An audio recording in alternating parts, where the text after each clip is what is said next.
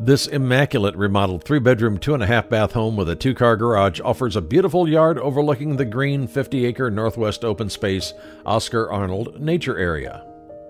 Inside this newly remodeled home, the kitchen offers all new kitchen cabinets, quartz countertops, and stainless steel appliances, plus many more updates.